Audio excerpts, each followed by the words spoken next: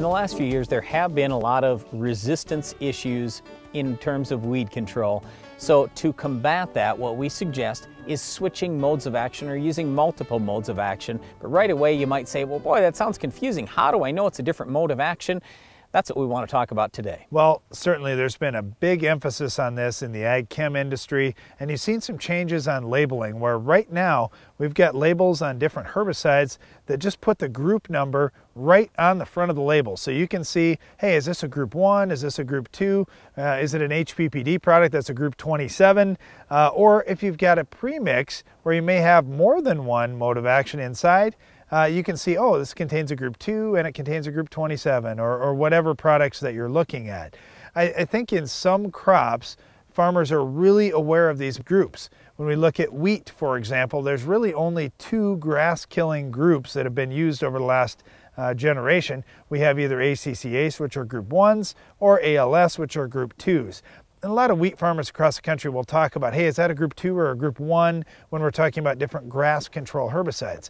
But when we look at soybeans, uh, there's a lot of guys that just really don't know what groups things are, and that's why we've ended up with as many resistant weeds as we have, in my opinion, as guys just didn't even realize that, wow, uh, I'm really not varying. I'm using the same groups every single year. Well, I don't really know if it's that, Darren, that people didn't understand that. I think it's just the fact of the matter that Roundup was working so well boy, let's just run with that. I really like Roundup. I'm going to do it three times this year. And then I'm going to use it for burn down in my wheat. Then I'm going to use it for a couple of times in corn. That Roundup's awesome.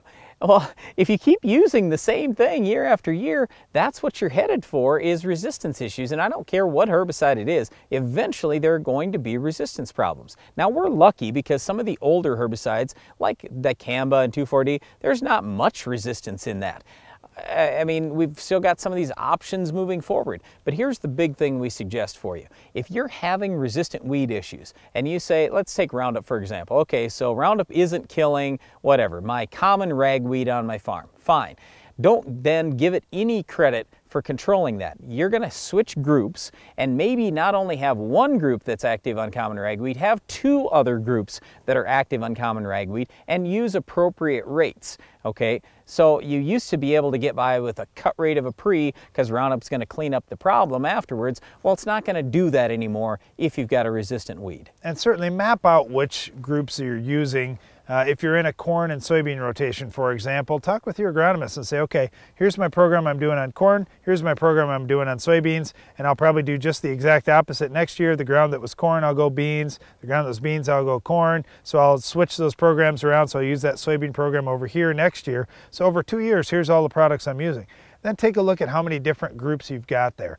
If you see, wow, I'm using the same groups in corn as I am in soybeans, make some changes in your operation. Otherwise, you're going to end up with some problems and you're going to find quickly the holes in those programs, which weeds are really tough to kill because it's only going to take a couple years and they're going to start becoming the predominant weeds you're fighting.